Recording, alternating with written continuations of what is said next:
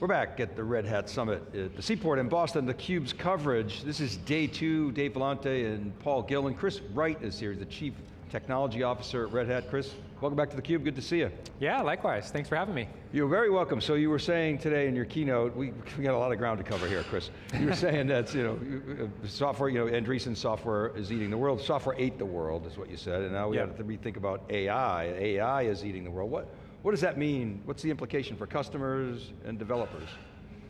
Well, a lot of implications. I mean, to start with, just acknowledging that software isn't this future dream, it is the reality of how businesses run today. It's an important part of understanding what you need to invest in to make yourself successful, essentially as a software company, where all companies are building technology to differentiate themselves. Take that, all that discipline, everything we've learned in that context, bring in AI. So we have a whole new set of skills to learn, tools to create, and discipline processes to build around delivering data-driven value into the company, just the way we've built software value into companies. I'm going to cut right to the chase, because I would say data is eating software. Data and AI, to me, are like, you know, kissing cousins. and so, but here, so here's what I want to ask you as a technologist. So we have the application development stack, if you will. Uh, and it's separate from the data and analytics stack. Hmm. All we talk about is injecting AI into applications, making them data driven, you just used that term. But they're totally two totally separate stacks, organizationally and technically. Yeah. Are those worlds coming together? Do they have to come together in order for the AI vision to be, to be real? absolutely, so totally agree with you on the data piece. It's in, inextricably linked to AI and analytics and, and all of the kind of machine learning that goes on in creating intelligence for applications.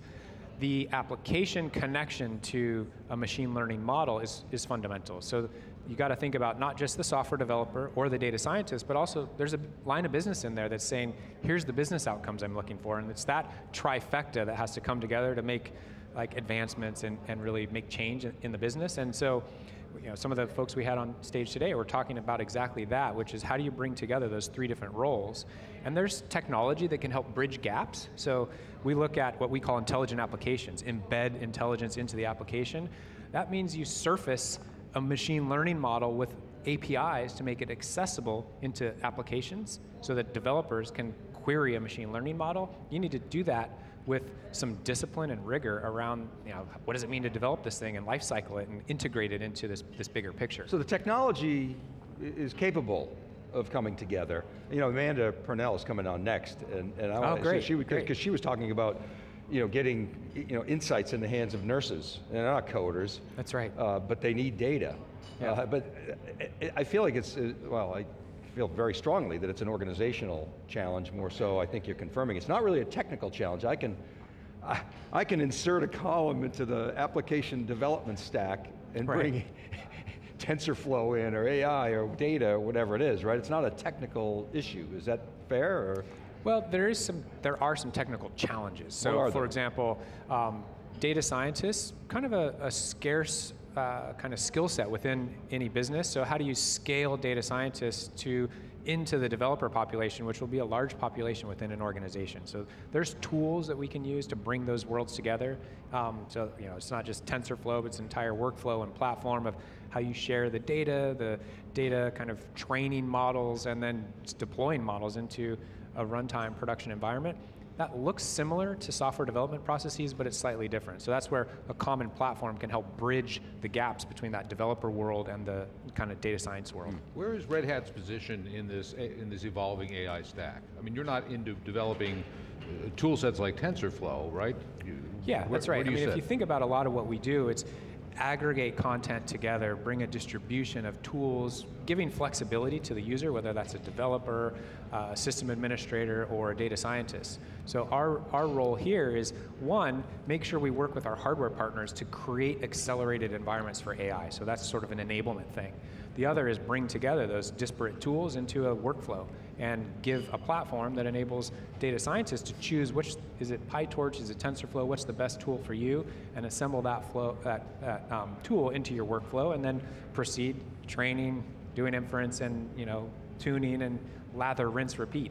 So to make your platform then as, as uh, receptive as possible, right? You're not trying to pick winners and what languages to work with or what frameworks. Yeah, that's right. I mean, picking picking winners is is difficult. The world changes so rapidly. So we make uh, big bets on key areas, and certainly TensorFlow would be a great example. It's a lot of community attraction there. Um, but our goal isn't to say that's the one tool that everybody should use. It's just one of the many tools in your toolbox. There are risks of not pursuing this from an organiz organization's perspective, a customer, if they kind of get complacent and you know, they could get you know, disrupted. But there's Yep. also industry risk if the industry can't kind of deliver this, this capability. What are the implications of, if the industry doesn't step up, I believe the industry will, as it always does. Uh, but what about customer complacency? We certainly saw that a lot with digital transformation and COVID sort of forced us to march to digital. Wh- wh- What, what should we be thinking about uh, of the, the implications of not leaning in? Well, I think that the disruption piece is, is key because there's always that spectrum of businesses. Some are more leaning in, invested in the future, some are more laggards and kind of wait and see. And those leaning in tend to be separating themselves wheat from the chaff. So that's an important way to, to look at it. Also, if you think about many data science experiments fail within businesses, and I think part of that is um, not having the rigor and discipline around connecting not just the tools and data scientists together, but also looking at what business outcomes are you trying to drive. And if you if you don't bring those things together, then it sort of can be too academic, and the business doesn't see the value. And so there's also the question of transparency. How do you understand why is a model predicting you should do a, take a certain action or do a certain thing? Uh, so we, we're as an industry, I think we need to focus on bringing tools together, bringing data together, and building better transparency into how models work. There's also a lot of activity around governance right now, AI governance, particularly uh, removing bias from ML models. Is that something that you are, are guiding your customers on, or do you feel, how important do you feel this is at this point of AI's development? Uh, I mean, it's really important. I mean, the challenge is finding it and understanding. You know, we, we bring data that may be already carrying a bias into a training process and building a model around that. How do you understand what the bias is in that model? That, that's a, a there's a lot of open questions there and academic research to try to understand how you can ferret out, uh, you know, essentially biased data and, and make it less biased or unbiased. Our role is really just bringing the tool set together so that you have the ability to do that as a business. So we're not necessarily building the next, uh, you know, machine learning algorithm or models or ways of building transparency into models as much as building the platform and bringing the tools together that can give you that for your for your own organization. So it brings up the question of architectures, and I've, I've been sort of a casual or even active observer of data architectures over the last, whatever, 15 years, and they've been really centralized. You know, our data teams are hi- highly specialized. You mentioned data scientists, but there's data engineers, and there's data analysts, and Yeah. very hyper-specialized roles uh, that don't really scale that well. Um, and so there seems to be a move talk about edge, we're going to talk about edge, and the ultimate edge, which is space, very cool. but data is distributed by its very nature. We have this Yeah. tendency to try to force it into this you know, monolithic system, and I know that's a pejorative, but it's for good reason. And so I, I- I feel like there's this, this push in organizations to enable scale, to decentralize data architectures. Okay, great. And put data in the hands of those business owners that you talked about earlier, the domain experts that Yep. have data content, that have you know, business context. Yep. Two things that, two problems that brings up is you need infrastructure that's self-service hmm. in that instance, and you need, to your point, automated and computational governance. And Those are real challenges. What do you see in terms of the trends to decentralized data architectures? Is it even feasible? Everybody wants a single version of the truth, centralized data team, right? Yeah. And they seem to be at odds. Yeah, well, I think we're coming from a history informed by centralization. So that's what we understand. That's Yeah. what we kind of gravitate towards. But the reality, as you put it, it's the, the world's just distributed. And so what we can do is look at federation. So it's not necessarily centralization, but create connections between data sources, which requires some policy and governance, like who gets access to what. And also think about those domain experts maybe being the primary source of surfacing a model that you don't necessarily have to know how it was trained or what the internals are. You're using it more uh, to query it as a, you know, the domain expert produces this model, you're in a different part of the organization just leveraging some work that somebody else has done, which is how we build software, reusable components in software. So, you know, I think building that mindset into data and, and the whole process of creating value from data is going to be a, a really critical part of how we roll forward. So two things in your keynote. One that I was kind of in awe of, you wanted to be an astronaut when you were a kid.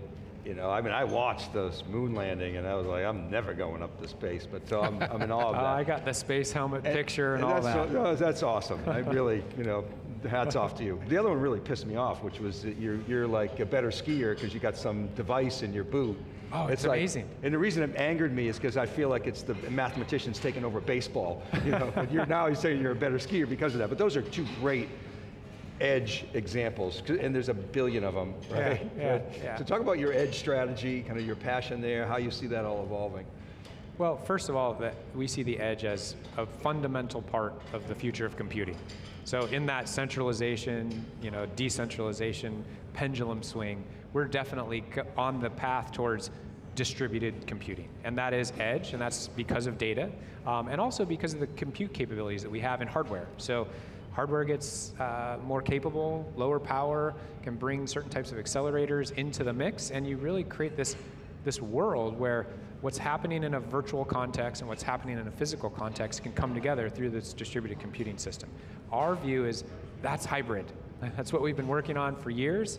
Uh, just the difference was maybe originally it was focused on data center, cloud, multi-cloud, and now we're just extending that view out to the edge. And you need the same kind of consistency for development, for operations, in the edge that you do in that in that hybrid world. So that's that's really where we're placing our focus, and then it gets into all the different use cases, and uh, you know, it's it's it's really that's the fun part. I'd like to shift gears a little bit because another remarkable statistic you cited during your keynote was that it was a Forrester study that said 99% of all applications now have open source in them.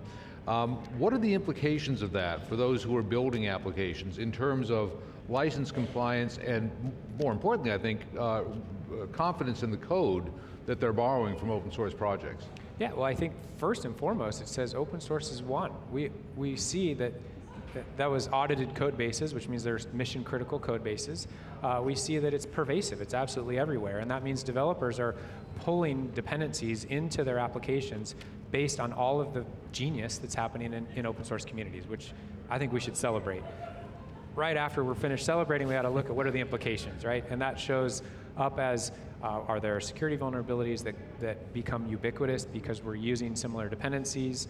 Um, what is your process for vetting code that you bring into your organization and push into production? You, you know that process for the code you author. What about your dependencies? And I think that's an important part of understanding, and certainly there are some license implications. Um, you know, what, what are you required to do when you use that code? What is your, uh, you've been given that code on a license from the open source community. Are you compliant with that license? That's, some of those are reasonably well understood. Some of those are, are you know, newer to the enterprise. So I think we have to look at this holistically and really help enterprises build safe uh, application code that goes into production and runs their business. We saw Intel up in this keynotes today. We saw, uh, we heard from NVIDIA, both companies are coming on. We know you've done a lot of work with, with ARM o- over the years. I think Graviton was one of the announcements uh, this week, so love to see that. I want to run something by you as a technologist. Uh, the, the premise is, you know, we used to live in this CPU-centric world. We marched to the cadence of Moore's Law, and now we're seeing the combinatorial factors of CPU, GPU, NPU, accelerators, and other supporting components, I.O. and controllers and NICs, all adding up. It, it seems like we're shifting from a processor-centric world to a connect-centric world uh, on the hardware side. First of all, does, do you buy that premise, and does hardware matter anymore with all the cloud? hardware totally matters. I mean, the cloud tried to convince us that hardware doesn't matter, and it actually failed. And, and the reason I say that is because if you go to a cloud, you'll find hundreds of different instance types that are all reflections of different types of assemblies of hardware. You know, faster I/O, better storage, certain sizes of memory. All of that is a reflection of applications need certain types of environments for acceleration, for performance, uh, to do their job. Now, I do think there's an element of we're decomposing compute into all of these different sort of accelerators, and the only way to bring that back together is connectivity through the network. Um, but there's also SOCs when you get to the edge where you can integrate the entire system onto a pretty small device.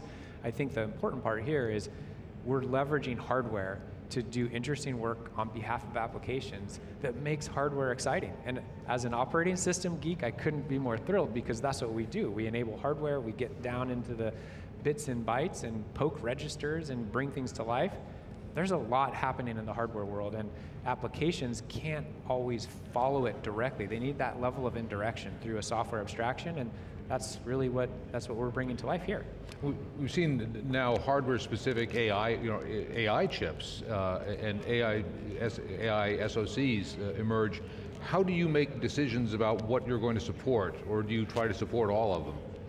Uh, well, we definitely have a breadth view of support, uh, and, and we're also just driven by customer demand. Where customers are interested, we work closely with our partners. We understand what their roadmaps are. We plan together ahead of time, and we know where they're making investments. And we work with our customers. What are the best uh, chips that support their business needs? And we focus there first. But it, it ends up being a pretty broad list of, of hardware that we that we support. I could pick your brain for an hour. We didn't even get into SuperCloud. But um, Chris, thanks so much for coming on theCUBE. It's great to have you. Absolutely. Thanks for having me. All right, thank you for watching. Keep it right there. Paul Gillin and Dave Vellante, theCUBE's live coverage of Red Hat Summit 2022 from Boston. We'll be right back.